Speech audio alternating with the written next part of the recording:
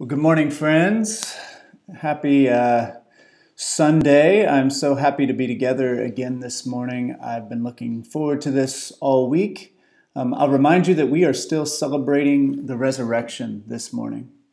Um, I want y'all to remember this morning that life, um, new life is possible, that we can receive that power uh, of Christ's resurrection to empower us to continue loving God and loving others, even in the midst of madness.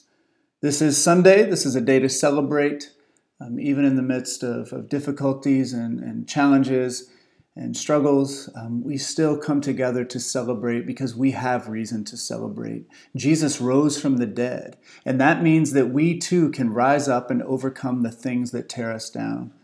This morning, we're going to be reminded that our God is always greater that He's greater than all things, greater than the big and scary things. God is always greater. And that is one reason why we worship and praise God, is to remind ourselves that God is always greater. Uh, my name is John Gallaher, and I'm the pastor at Embrace Church. And I just want to welcome you guys to our uh, time of worship and fellowship this morning. Um, if you could share uh, this um, video on your live stream or on your timeline, that would be awesome. Um, that way you can, you know, connect other people to what we're doing. You can just hit down at the bottom, share, then write a short post and, and throw that out there. And you never know who might see it and want to join up with us this morning. Um, also invite people, you know, like during your week, if you know other people who are at home, say, hey, my church is doing this thing and it's encouraging to me. Um, I'd like you to check it out and be a part of it with us. So um, feel free to invite others this week to join us uh, for what we do each Sunday. So to begin, what we're going to do is sing together. And so I encourage you, wherever you're at, uh, to kind of get your space ready. Um, I, I, like to, to kind of light candles, to get focused, to turn off any distractions um, so that we can truly connect with God and connect with one another. I'll also remind you that we are going to have communion. Um, we started doing it every single week now, and so get ready for that. Uh, we'll be sharing communion at the end of our, our service.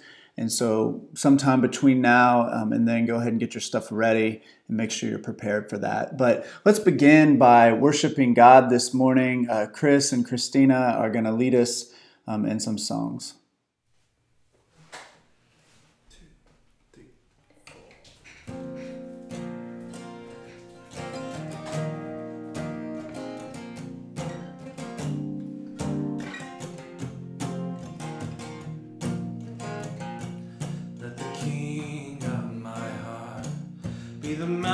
Mountain where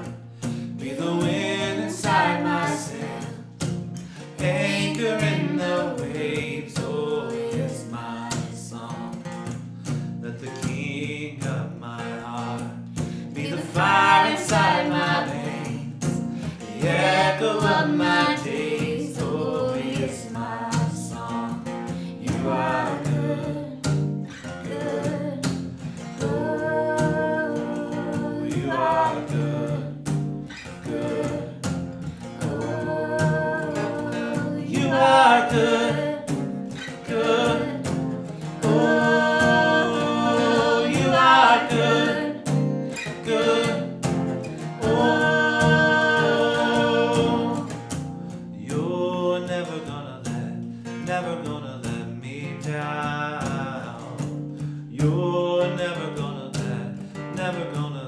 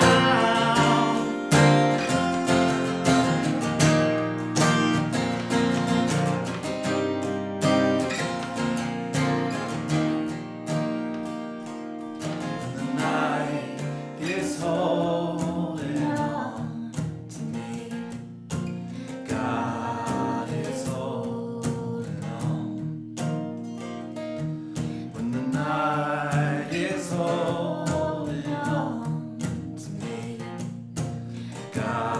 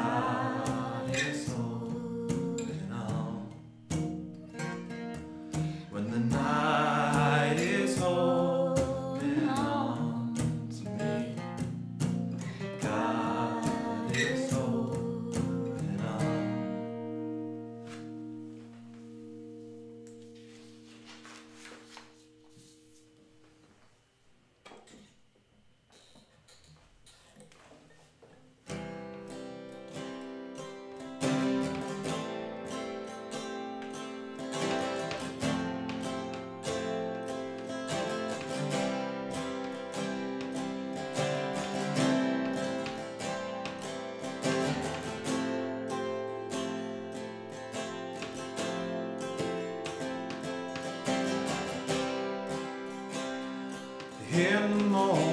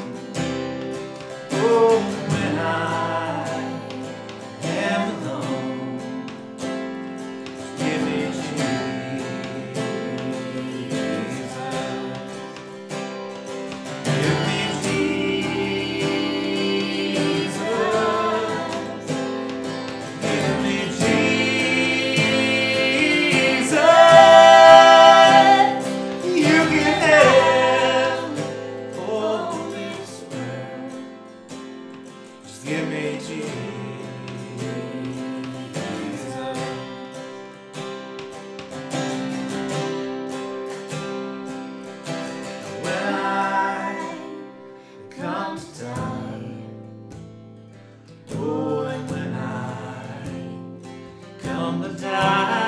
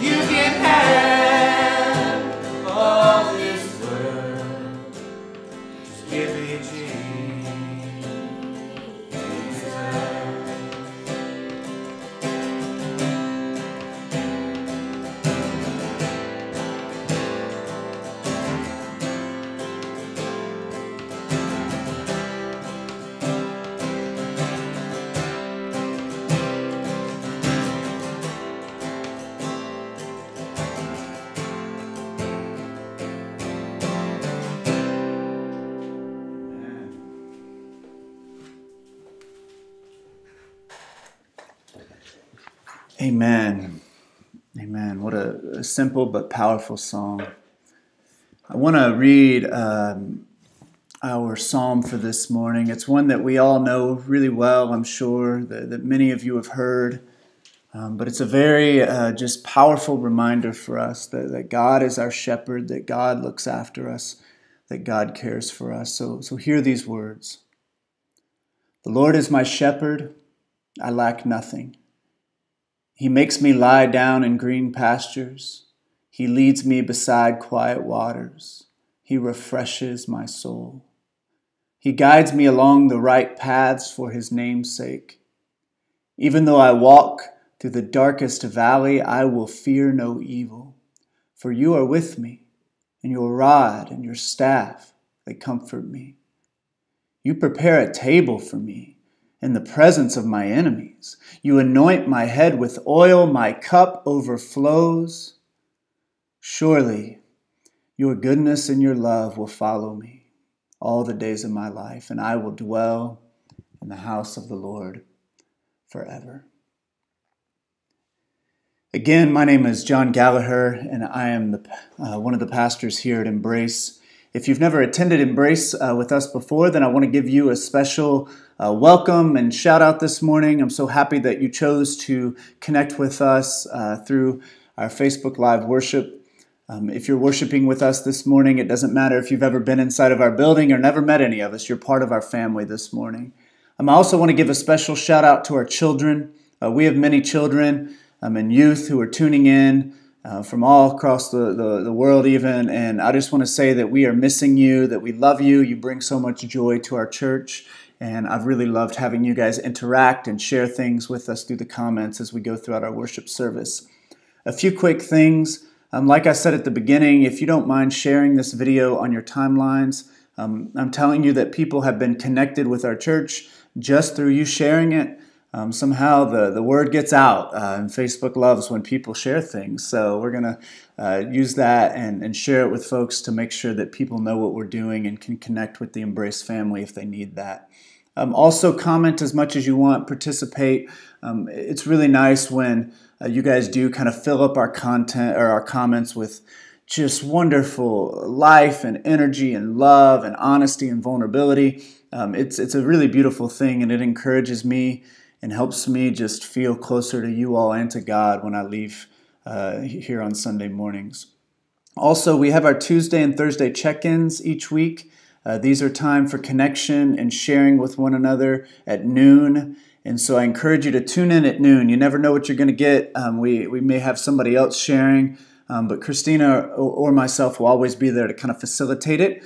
Um, but there's a lot of good stuff on those. So if you haven't watched any of them, you can go back and watch all of that stuff. So if you're bored, just throw it on while you're washing dishes or whatever you may be doing and, and hear kind of some of the good things that are happening um, in our community. I'll also remind you that we're going to share communion together this morning. So, whatever food, whatever drink that you have chosen to kind of be uh, your communion elements through this season of social distancing, um, go ahead and get that ready. And, and I encourage you, even before church, to get it ready beforehand. If you forgot this morning, that's okay. Just do it now and, and make sure we're ready. You know, this distance has been painful for us and it's been difficult, and a lot of folks have shared, we really need communion. We want this. This is life sustaining for us. And so we're going to do it. And I know this is not necessarily the best way to share communion because it's really good to be in the same room. But you know, Jesus' presence and his love are not limited by social distancing or global pandemic or anything else for that matter. Um, Jesus can meet you right where you're at. And so um, we'll do that after the sermon this morning. Um, also, if you're able to continue giving financially, uh, to our church, then, then that would be great. I'm going to throw on the link um, so that you'll know how to do that if you uh, are able to. Um, I want to just say thank you so much uh, to those of you who have just given faithfully. Um, whether it's you know given a little bit or a lot, it's just been awesome to see the generosity that you guys have shown through all this. Because I know that like this is a very anxious time for many people, and, and it's been so encouraging to me and to Christina and to the other leaders to see that, that our church is digging in, that we're supporting the work um, so that we can continue doing what we're doing. And, and it's awesome. And I just feel so um, awesome just to be part of a church uh, that that is willing to kind of dig in and, and make this happen, um, even in the midst of hard times. So thank you so much for that. Um, you can also send checks in the mail. Um, we'll be glad to to do that. We're, we're here in the office on a regular basis and taking deposits to the bank and all that kind of thing. So you can send us stuff in the mail as well and it will get to us. Um, what I'd like to do now is just take a few moments to share some things that we're grateful for. Uh, we do this every week, and I think it's particularly important for us to do this when we're going through hard times uh, because we need to remind ourselves that we do have a lot to be grateful for, even when life is difficult. And so go ahead, uh, type out what you're grateful for. Um, our young people, our kids, um, I'd love to hear. Uh, what you all are grateful for as well. And so tell your parents or whoever you're with, or you take the phone and type it out yourself. Um, but type out what you're grateful for um, and share it with the group. And I'll just highlight a few of these just to kind of bring some of that positive, good energy into our space and our worship time together. Um, and, and so we can like build each other up too. This is just a really awesome thing that we get to do. And so, what are we grateful for this morning? Let's share some stuff. Um, I was grateful this morning to, to wake up and just be beautiful weather. And I got to go outside for a little bit, open my back window, and I feel like the birds are just off the hook right now. They're everywhere, and they're they're they're just like singing songs to me in the morning, and, and that was a really just special time to to do that this morning. So, what are some other things that we're grateful for? Rob is grateful for beautiful weather. Um, Dan is grateful for the walks that he's had with friends uh, while being able to maintain distance at the same time. Zoe Epley is thankful for painting. Elijah Epley is grateful for good weather. Um, two of our, our youth in our church. Uh, Kathy Bolton is grateful for every day of her life. Amen. Um, Julie Duff, grateful for modern medicine, unexpected but joyous weekend with her nephew, uh, for water, for rock. Um, Raylan, uh, one of our our young our kids is grateful that she's healthy. Drayton, another one of our, our kids, is grateful that his birthday is coming soon, uh, which will be near the end of the month. He's been counting down the days for, for weeks now.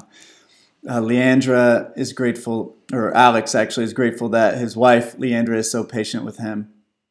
And uh, she said he really did say that. All right.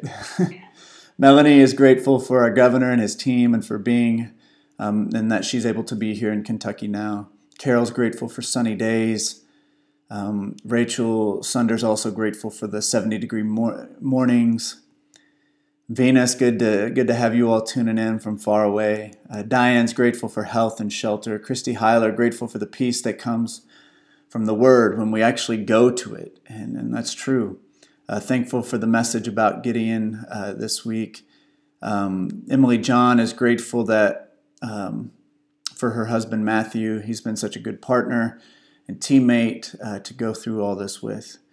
John Epley, grateful for family breakfast, picnic in the yard today. Beatrice and Chuck are grateful for some sore muscles from a long day of yard work yesterday. Uh, that feels good sometimes. Jackie J, uh, for a good week of homeschooling. Um, she gets an A in kindergarten Spanish. All right, good work.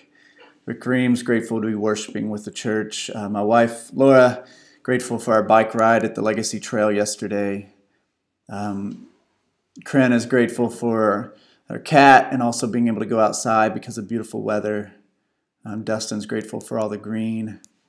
Um, Nate, Nate, good to see you on here. Um, I'm grateful for you and all you've meant to us in our lives.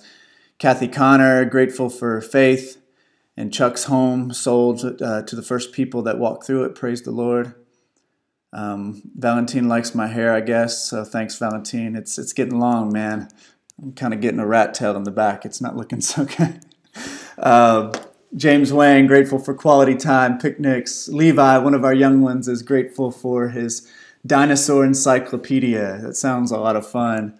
Uh, so much stuff. I, I can't even get to all of them, but um, just so many good things. Bill Todd, good to see you. Family and gardening, he's grateful for. Noran's grateful for con- or conversations with friends. Nate's grateful for friends, family, his fiance, a roof over his head, clothes on his back, food in his stomach, a job and life. Tanya, grateful to have a moment to herself to breathe this morning. And for a clean kitchen, awesome. Uh, so many things. Um, Paige is always reminding me of my age. Thanks, Paige. I appreciate that. Um, uh, we're gonna move on this morning, but it's it's a lot of fun to see all the the great things that you guys are sharing. Um, what we're gonna do now is we're gonna spend some time reflecting on our story for our Wonder Room this morning. Um, we're gonna keep doing this each week. And so our story this morning is, is kind of a story. It's, it's some teaching that Jesus told about being a shepherd, about sheep, and it's kind of mixing in some different stories that, that Jesus told throughout his ministry. And you may not know this, but this morning is actually uh, Good Shepherd Sunday, is, is traditionally what this Sunday, the fourth Sunday of Easter, is called. And so um, we're, we're reflecting on Jesus as our Good Shepherd. And, and I think that's a wonderful image. You know, we talk about Jesus as king, which I think is great. Um, shepherd is a, is a little bit different image. And, and I think that that's a great image for us to cling to and to reflect on. And so before we do that, um, I want to make sure we see where we're at on our Wonder Room calendar that we have behind us. This is the whole church year. And so I'm going to move out of the way here and show you. So you'll see the arrow here is pointing towards the fourth uh, white block. And this means that we are in the fourth Sunday of Easter, all right? And so um, the cross represents Easter, and then we're in the fourth Sunday. So we're continuing to celebrate Easter, even though uh, Easter Sunday is, is no longer with us, but we are continuing to celebrate the new life and celebrate resurrection. And so I'm going to uh, play for us our Wonder Room story that Christina is going to share with us. And, and then after that, we'll sing a song, and then we'll come back together and share some of our wonderings. So be sure to write those wonderings um, out in the comments. There was once someone who said such amazing things and did such wonderful things that people followed him. They couldn't help it. They wanted to know who he was, so they just had to ask him. Once, when they asked him who he was, he said, I am the Good Shepherd. I know each one of the sheep by name. When I take them from the sheepfold, they follow me. I walk in front of the sheep to show them the way. I show them the way to the good grass, and I show them the way to the cool, still, fresh water. When there are places of danger, I show them how to go through. I count each one as the sheep goes inside. If one of the sheep is missing, I would go anywhere to look for the lost sheep.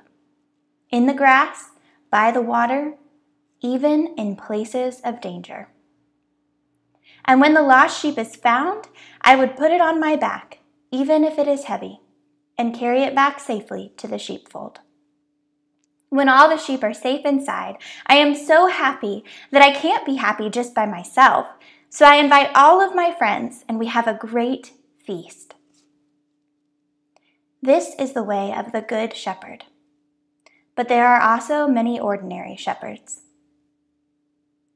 When the ordinary shepherd takes the sheep from the sheepfold, he does not always show the way. The sheep wander. When the wolf comes, the ordinary shepherd runs away. But the good shepherd stays between the wolf and the sheep, and would even give his life for the sheep, so they can come back safely to the sheepfold. I wonder if you have ever been lost. I wonder if you have ever been found. I wonder if the Good Shepherd has ever called your name. What other things are you wondering this morning? What do you notice about this story? Spend some time thinking about it and add your comments in the comment section. We'll spend some time wondering together after this song.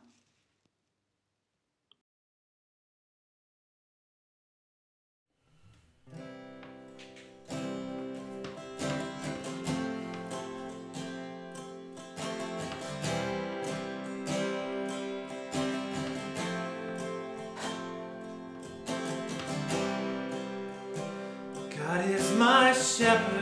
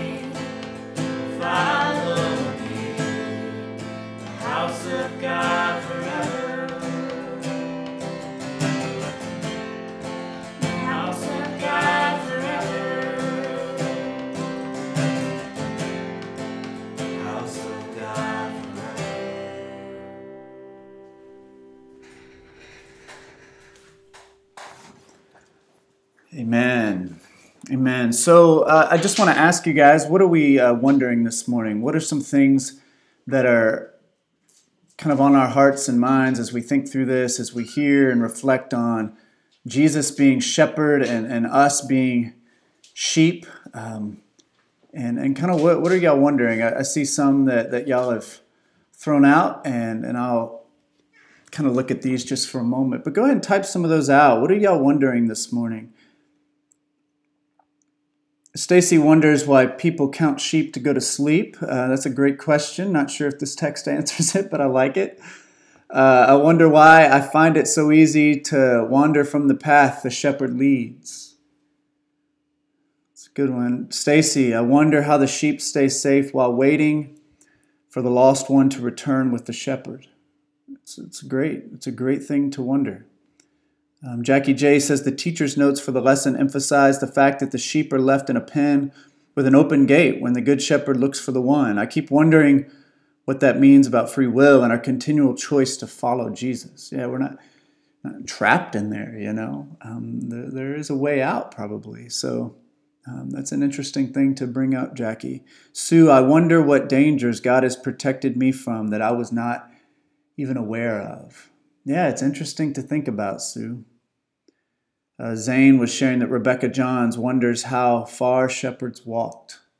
How many, how many miles were they putting in? You know, how, how far did they walk each day? That's a great question. Jim Pinkston, even when we give up, we are never so lost and alone that God can't find us. I like that. Uh, Dan has nothing to do with the text, Dan. He wonders how Christina hits that high note. Um, it takes a lot of skill um, and practice. Tell, uh, what are the any other wonderings that we have? Julie Duff, I wonder if Jesus gets annoyed at that one sheep that keeps uh, wandering off time after time. Yeah, and, and you might be that one sheep, some of you, and, and I know I've been that sheep plenty of times. It's like you does Jesus get annoyed or bothered at that? Um, or does he keep coming after us? Those are cr- great things to wonder. Sue, I wonder why I never thought of the importance of being part of a flock, um, which is the support, the encouragement of community. Yeah, so we talk about being a sheep and Jesus the shepherd, but there is the whole flock that we're part of in the sheepfold, in that pen. And so, yeah, what does that mean? I wonder what that, that means for us to have that community. And Norian, I wonder why the shepherd carries uh, the lost sheep back. It's an interesting thing to wonder. Yeah, I wonder who who the shepherd that ran away represents, uh, or the, who the sheep that ran away represents, and what is the rest of their story. Yeah, I think that that's a great um, thing to wonder, Clea. Who? What about that sheep who runs away, and then how are we connected? And Paige thinks that, that that represents all of us because how many times do we all wander wander away? Rick, I wonder if the other sheep get mad at the one sheep that gets lost. Yeah, I, I think that that uh, probably something that could happen. Um, Nate, there are a lot of things I wonder, but I have faith and believe to know and feel that everything happens for a reason and good things come to people. So Nate, Nate's acknowledging that he w- does wonder uh, about things and has questions, but he's trying to have faith.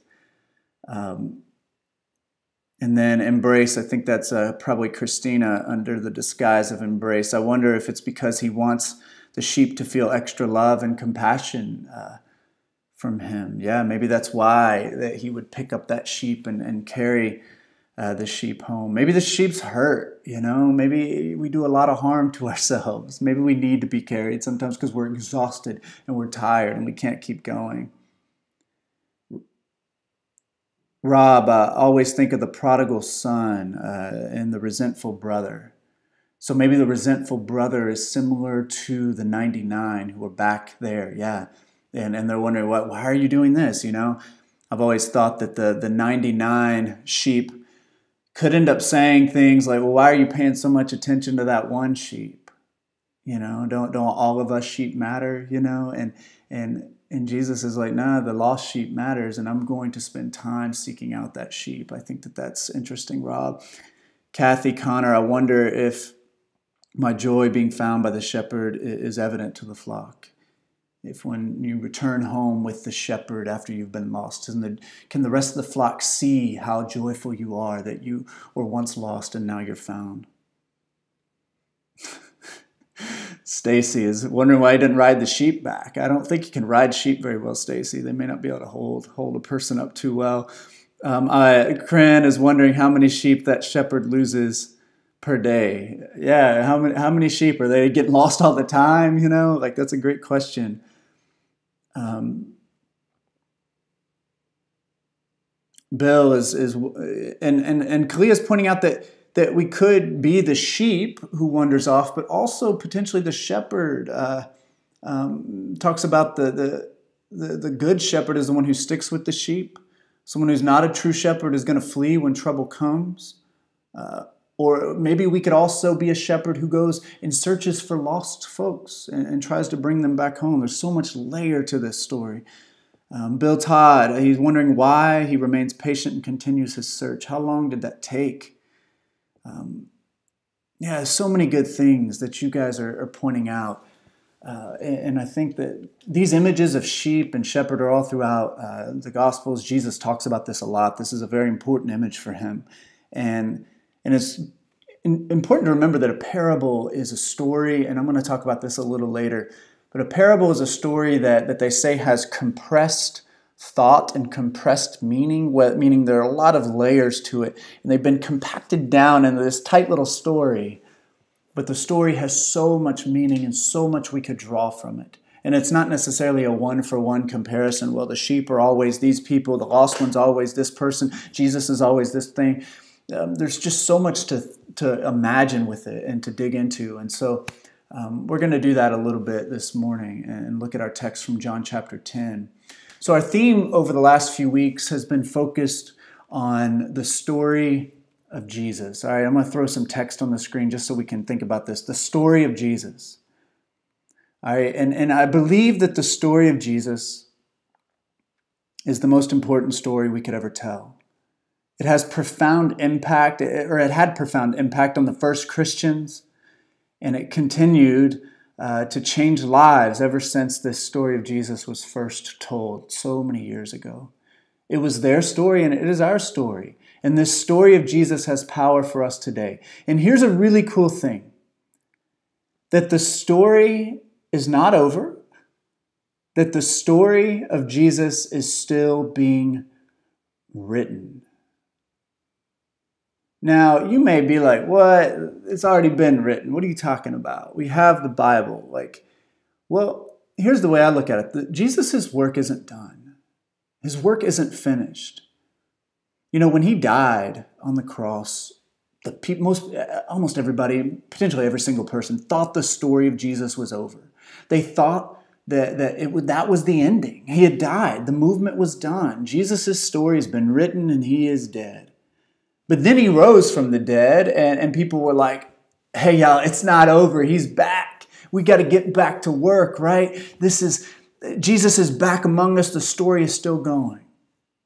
But then he left again. Uh, y'all probably know, uh, many of you, at the beginning of, of Acts before Pentecost, Jesus ascended up into heaven. And I think perhaps some thought then, well, I guess he's gone again. So, story of Jesus was good while it lasted, but he's gone. He left us again. The story is done. But then something miraculous happened, and, it's what we call Pentecost. And, and I'll tell you, you may have not thought of it this way, but on Pentecost, Jesus returned to the people and he never left them again. He told his followers before he was crucified that he would never leave them as orphans, that he would be with them even to the end of the age. Now, they had no idea what he was talking about at that point. And, and then he died, and they're like, You did leave us as orphans, you have left us. But the reality is, at Pentecost, what happened is Jesus returned through wind and fire, through the Holy Spirit, descending upon the people and filling them with power and direction and mission. At that point, the story of Jesus continued on through the Holy Spirit working through normal, everyday people. And those first Christians carried on the ministry of Jesus through loving God and loving others. And what happened is, as time passed, new realities emerged, things changed. I mean, the world has shifted and changed so much throughout history through innovation, through tragedy, through violence, through war, through advancement in science and technology. Things have changed and the world has shifted, and new realities continue to emerge. And the true Christians, the followers of Jesus that have been preserved throughout history, there have been a lot of, I would venture to say, potentially fake Christians, Christians who uh, just have the name but don't really care much for Jesus. But the true Christians, the ones who are trying to follow Jesus, have sought to answer this question. And, and, and the question is simple How do we carry on the ministry of Jesus in our current context? What is our part to play in this story of Jesus, in this new reality in which we find ourselves? So, how do we carry on the ministry of Jesus in the context we are in right now, in the here and now? And people have been trying to answer that question for a long time. And people have been very creative and carried on the ministry of Jesus in these beautiful, powerful, creative ways. And, and really, that's a question that we've got to answer today, right? I, I came across this article this week, and it was written by a conservative American evangelical leader. All right, so Christian guy prominent person, and, and he says a lot in this kind of opinion piece that he writes. And it was widely distributed. And, and one of his arguments was that in our world today, he thinks we need to focus less on morality and character in our leaders, and we need to focus more on practicality in a leader's ability to get things done and kind of push forward um, what he would call this kind of conservative agenda that, that he thinks that we need to be championing in our nation. And he was kind of saying this, um, and he, he was honest about it, as a justification for supporting our current president in spite of his questionable character and morality at times. And so it was interesting. I'm not going to get into it and debate what he was talking about, but a prominent evangelical Christian leader writes a very long op ed about how Christians ought to engage with politics in our current situation and guess what? Jesus, his name, Jesus, was not mentioned one time in the very long article that this person wrote, trying to discern how we as Christians ought to kind of engage politically in our world today. Didn't mention the name of Jesus one time. Now, it's interesting to me and, and, and heartbreaking in a way because Christianity began as the story of Jesus. It began, it, is called and has been called from the beginning the gospel of Jesus Christ. The first Christians, as I said last week, were called Christ ones. They were the people of the way. And you know what the way was? The way was the way of Jesus. Yet, what has happened is so many Christians have taken Jesus out of the story and really created their own religion that has little to do with Jesus. I think what a lot of people practice, uh, particularly in America, is what I would call, and others have called, an American civil religion. It is not based on Jesus anymore. It is kind of taking and pulling some different principles and ideas from Christianity, but it's really a new thing that has been created. And, and what has happened is I don't know if a lot of us are still con- continuing to carry on the ministry of Jesus but instead we are carrying on our own kind of thing that we want. And often it's been a quest for power and for comfort and status. You know, I think the question that that prominent evangelical leader was asking is important. How do we as Christians engage politically and publicly in our current reality in America? We need to ask that question and we need to seek answers for that question. Yet that question cannot be answered without Jesus being at the center of the conversation. It cannot, because as Christians, Jesus has to be at the center. Our entire faith is built on Jesus. So, in our new reality of COVID 19, our reality of wealth disparity in our world, of racial inequity, of deep political division, of declining church involvement, of debilitating mental health issues, of rampant materialism, of overwhelming militarism, of mass incarceration, in light of all these things that are so difficult and challenging, the question we have to ask is this we have to ask, what does the ministry of Jesus look like in our context? And how do we follow Jesus and continue his story in the midst of this new reality? I mean, those, those are questions that it, it, those aren't easy answers, obviously. We like easy answers, and so we don't ask hard questions a, a, lot, you know, because we don't like to come up with hard answers. But these, these are questions that we have to discern, and that's what every Christian in every time and place must discern. What does the ministry of Jesus look like in our current context and reality? And this is what we're trying to do at Embrace. This is what I would call um, what theology ought to be. It needs to be current, but it also needs to be grounded in the ministry and work of Jesus Christ. And if we keep Jesus at the center, then I think we're going to be okay. But keeping Jesus at the center means that we cannot get behind and support things, policies, agendas, movements, whatever, ideas, thoughts that's, that are rooted in racism or hate or division or anything like that. You know, you can see why it might be easier to just not mention Jesus anymore because Jesus, he, he's tough, you know. I sometimes wonder if that's why a lot of churches avoid the Gospels, which a lot of people avoid the Gospels and they preach almost exclusively from Paul's letters, which Paul's letters are awesome, but I think we've got to be rooted in the Gospels as well. Jesus, but, but Jesus is sometimes just too much. Jesus can be a bit too specific. Jesus can strike to the heart of the matter really well. I think it's way much, it's so much easier to talk about God in general, but it's a bit harder to talk specifically about God revealed to us in Jesus Christ. A general God, this big general God, can bless whatever we want God to bless. But God specifically revealed to us in Jesus, that's another story. That's how it's easy for us in our nation to put in God we trust on our dollar bill, which has actually become an idol um, it's idol worship often what we do with money. And Jesus talks about worshiping uh, mammon and money and wealth second most to any other topic in the New Testament.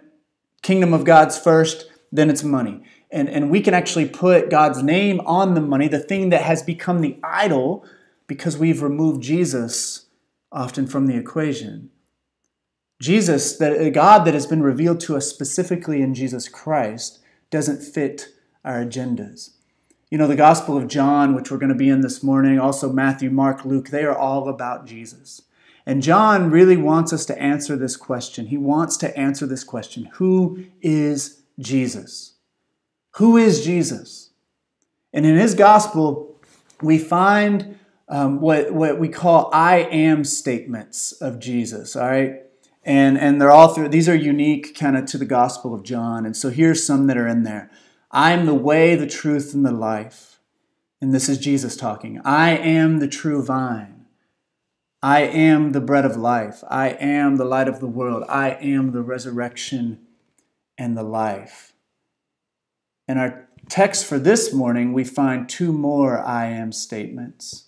And here they are I am the good shepherd, and I am the gate. All right, and so we're going to get into these uh, this morning. You know, we touched on this a few weeks ago, actually, when we looked at the story of the blind man who was healed by Jesus. If you don't remember, let me remind you about that story. There was a man who was born blind, and as a result, he had been excluded and left out uh, by his family, his friends, his community, and even the religious leaders had left him out and excluded him.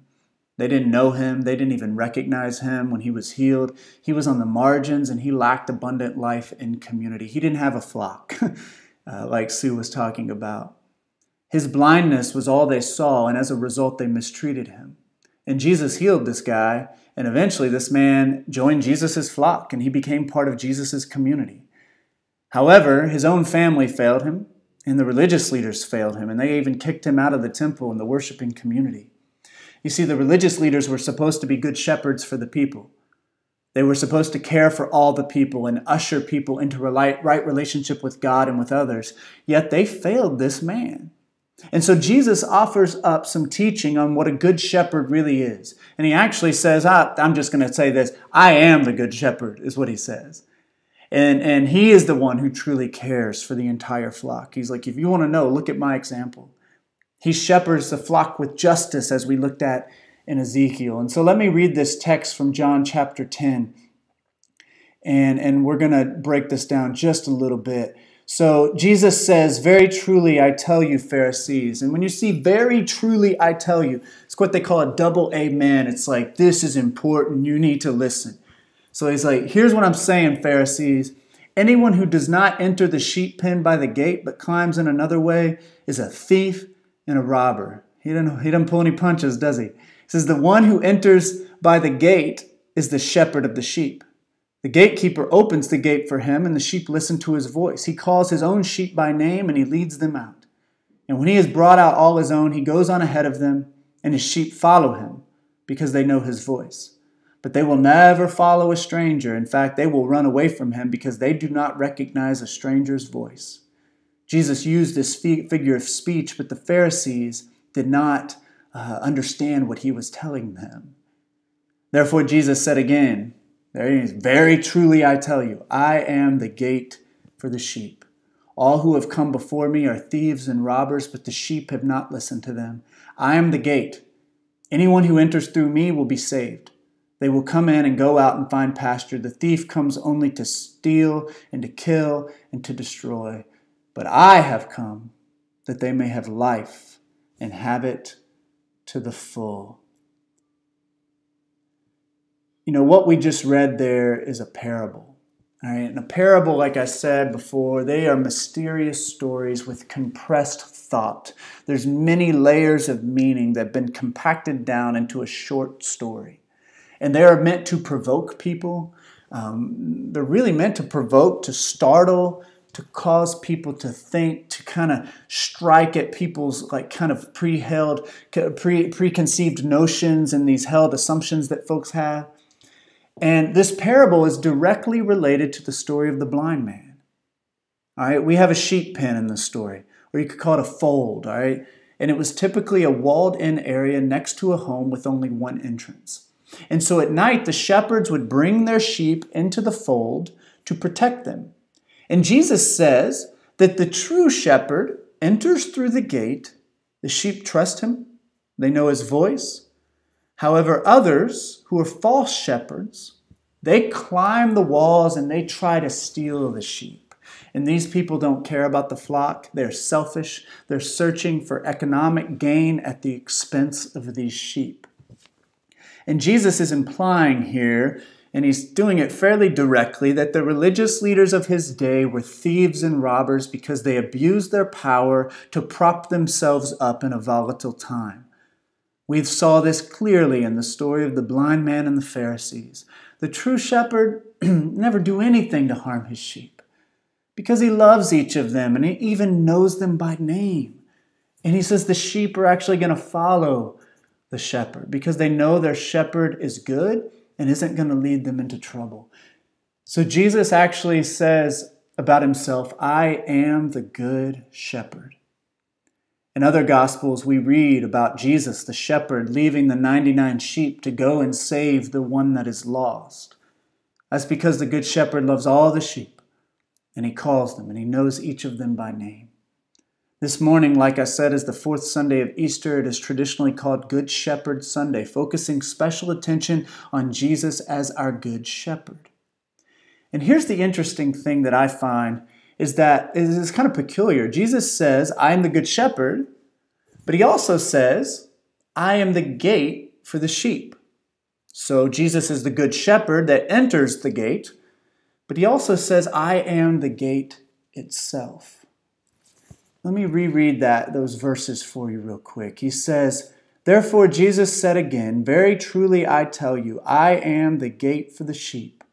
All who have come before me are thieves and robbers, but the sheep have not listened to them. I am the gate. Whoever enters through me will be saved. They will come in and go out and find pasture. The thief comes only to steal and to kill and to destroy, but I have come that they may have life and have it to the full. So, in the flock of Jesus, life is good. It's not always easy, of course, but Jesus promises us that in his flock we will find abundant, full, awesome life. you know, I remember a sermon I heard a while back, uh, many years ago when I was in college, by a guy named Rob Bell, and and I've always liked kind of a lot of the things he's talked about. But he would often say that following Jesus is, he believed, the best life you could possibly live. That this is the best life. You know, we often think of following Jesus as a brutal life, kind of of rules and sacrifice and religious stuff, right? And and it's just I got to take up my cross, and it's just brutal and awful, and I can't do anything fun, and and that's honestly how we often portray it. And and I go, you know, I, I'm not that confused why young people don't want to go to church often because the way we present it sometimes sounds pretty bad. But I kind of shifted my thinking back then and started thinking of following Jesus more as abundant life, even as adventure, as something beautiful that is full of meaning and purpose and value. John 10:10 10, 10 is an amazing verse. Jesus said that he came so that all people could find life. And not just any life, but full life. Is, do y'all want full life? Is that something you want for yourself is a full life? That's like a goal of mine is to have a full life. You know, here's a problem that, that I see, and, and, and I've been guilty of this before. There, there are some of us that, that often, sometimes we want church without Jesus. There are many folks that, that want the benefit, they want to benefit of full life and meaning and purpose. They want this life. They want their kids to have religion in their lives. They want the routine and community of church. They like the clear boundaries of belief and religion. Yet sometimes they want all that without Jesus. We want sometimes to get to the community without having to go through Jesus. And, or even worse, sometimes folks actually want to take advantage of the community and the flock uh, to meet their own needs and agendas and aspirations. And, and, and those are the ones that climb in that wall, right? To do harm even to the flock. And, and I've seen this happen in churches before. I'll tell you, it's harder to go through Jesus, the gate, because Jesus doesn't allow exploitation, abuse, harm, hate. If you if you take Jesus out of the story, then it's a lot easier to do what you want to do. You can exclude the people you want. You can avoid dealing with the hard stuff. You can financially manipulate people. Um, this is how churches were able to put black people in the balconies, you know, because they weren't really, they kind of took Jesus out of the story. And Jesus doesn't allow that.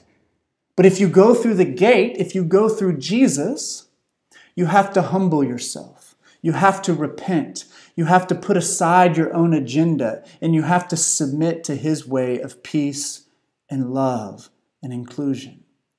I think the church community has to be rooted in Jesus. If we forget the story of Jesus, if we top, stop telling that story, if we stop living that story, then we're going to be like a ship without a rudder. We're going to be like a car without a steering wheel, and we're going to have nothing to guide us. You know, it could be easy to kind of think about a gate as something used to keep people out, right? And, and yes, the gate in this parable does serve one purpose to keep people out who are going to harm the sheep. Um, and, and that's a hard reality sometimes, you know? Like at Embrace, we often say all people are welcome here, but nobody can do any harm to anybody. We're not going to allow that, right? No one can do harm. And so that is part of it. I'll tell you, though, the prominent and the most important meaning of gate in this passage is that the gate is a pathway to abundant life. The gate, which Jesus says he is the gate, is a pathway, or is the pathway really, to abundant life. The gate opens for those who are longing for life with God and with others. And yes, they have to go through Jesus to get there, but Jesus clearly shows us time and time again that He is open for those who have been excluded and left out, who are struggling. If they're seeking after God and want to submit to His way, then He is open to them, and that gate will open to usher them into the flock of Jesus. And Jesus' vision for the flock, I believe, is inclusive. It is embracing. It is not some exclusive club where Jesus is posted as the bouncer at the door, deciding who gets in and who gets out. No, it's an inclusive flock. In the following verses, think about it. Jesus says, I will lay down my life for the sheep so that they might get to his flock. And he didn't say, I'll lay down my life just for my sheep. He says, for the sheep. And then he goes on to say that there are sheep out there that aren't part of his fold, and he's going to have to bring them in also. So, all the folks out there, not just the ones who are already with him and part of his flock, no, they're all out there, and he wants to bring them all in. Jesus runs after and pursues the lost and the broken. Those who feel unworthy to have abundant life. Those are the ones Jesus is inviting. Those suffering from loss, from shame, from hurt. Jesus is the path to life for them. I want to share just briefly um, this interesting kind of observation that I think is kind of fascinating and intriguing that some scholars have pointed out regarding shepherds in the Near East. And I think that what I'm going to share with you is a beautiful depiction of what Jesus provides for his flock. So listen to this story. It's about a man named Sir Adam George or Sir Ad, or Sir George Adam Smith. And I'll just read this. He says, He was one day traveling with a guide and came across a shepherd and his sheep. He fell into conversation with him. The man showed him the fold into which the sheep were led at night, and it consisted of four walls with a way in. And Sir George asked him, Is that where the sheep go at night? Yes, said the shepherd, and when they are in the fold, they are perfectly safe. Sir George was confused and he commented, But there is no gate, said Sir George. How do you keep them safe if there's no gate? The shepherd looked at him and said, I am the gate. He was not a Christian man. He was not speaking in the language of the New Testament. He was speaking from the Arab shepherd's standpoint. Confused, Sir George looked at him and asked, What do you mean that you you are the gate. The shepherd replied, When the light has gone and all the sheep are inside, I lie in that open space to the fold, and no sheep ever goes out but across my body, and no wolf comes in unless he crosses my body. I am the gate. Now, I don't know if that's what Jesus was talking about when he said he is the gate. but nonetheless, it is a beautiful picture. And I think it clearly describes what our God is all about, what Jesus is all about. What a beautiful picture of Jesus. Think of Jesus, the Good Shepherd, lying across the opening to the fold and becoming our gate of protection and salvation and abundant life laying down his life at the entrance to provide that path and that protection. Jesus is both the gate that leads to salvation and abundant life, and he's also the good shepherd that cares and protects his people. If Jesus truly is who he says he is, if these bold claims that he makes about himself, if we really believe they're true, then I don't know why you would want to follow anyone else because this is beautiful what Jesus is offering. And, and if you know Jesus, which a lot of you do, and you love him, and you believe that he is the way to God and the way to life abundant and to salvation, then, then it's our job to share that with other people because we have something beautiful that we can offer to others, that we can share with them and invite them to be a part of the flock of Jesus. Why on earth aren't we telling others about this? If you are willing to humble yourself, right, to enter through the Jesus gate, then I, I believe things can, can change. I believe we can begin to see more life, more abundant life, more full life for all of God's children. This is the word of God for the people of God in the name of the Father, Son, and Holy Spirit. Amen. So, what we're going to do now is we're going to share communion together. And we're going to worship while we do that. And you can take it whenever you want during this song. Um, you know, so whatever you have, I'd go ahead and find that. I have a, um, a cracker that, that I'm going to use, and, and, and I have a nice chalice here with some juice in it. Um, whatever you have, uh, you can use that. But you know, that night before Jesus was taken off to his crucifixion, uh, he shared a meal with his disciples. And, and at that meal, um, he took some bread, um, and, and I have a cracker here, but he broke that and, and he gave it to them and he passed it around and said, Take and eat, this is my body broken for you. And likewise, he took a cup and he said, This is my blood shed for you for the forgiveness of sins. And he says, Take and drink. And he says, As often as you drink of it, I want you to do this and I want you to remember me. So we're going to share communion this morning. We're going to remember Jesus. We're going to experience his grace, his goodness, and his love. And, and so I, I encourage you as you share um, this with your family or by yourself, wherever you're at, take this seriously and really try to connect with God and with those that you are with. And if y'all bow your heads with me just for a moment. God, we thank you so much for your love and your grace and your goodness. We thank you that you are the good shepherd. We thank you that you are the gate that leads to abundant life and salvation. We thank you that you care for us, that you look after us, that you um, provide um, eternal protection for us. And God, we thank you that you love us desperately. God, we repent and we confess to you that too often we have tried to take you out of the mix and we've wanted to put you in a corner and say that Jesus, we'll call on you whenever we need you instead of putting you at the center of everything that we are about. Um, we repent that we have done that in our individual lives and our families. We've done that in our churches. We've done that um, in our communities. Uh, we've done that when we are living our lives at work or wherever we're at. We have just tried to compartmentalize you and we've marginalized you, Jesus. And we repent for that, Lord. And I pray, God, that you would empower us this morning through your presence in this blood, in this uh, juice um, and, and in this bread or whatever we're sharing, that through this, Lord, that it would truly be for us the body and blood of Christ, that you would fill us up and empower us to have courage to place you back at the center of everything that we are about.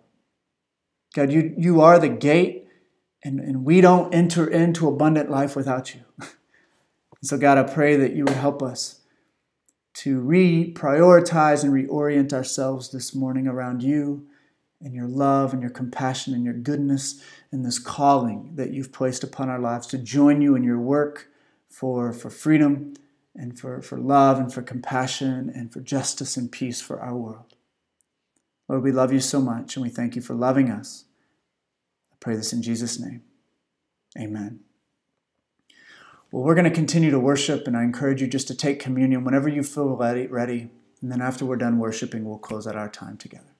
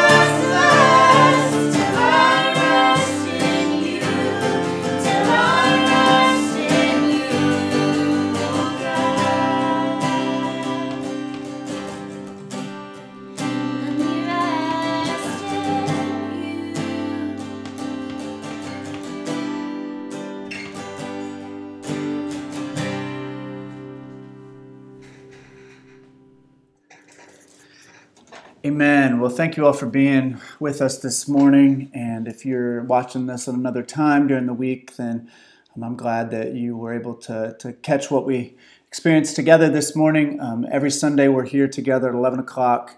Um, I know that there's been some talk about potentially being able to get back together in person. We're, we're thinking through all that, and we'll keep you posted on when and how soon uh, that will happen. And we will certainly be considering what is the best and safest option for all of us um, in the next few weeks. And so we will keep you posted on that. Um, if you could, just prepare your hearts to receive the benediction. May the love of God the Father, the grace of our Lord Jesus Christ, and the fellowship of the Holy Spirit be with you all, now and forever. Amen. Go in God's peace.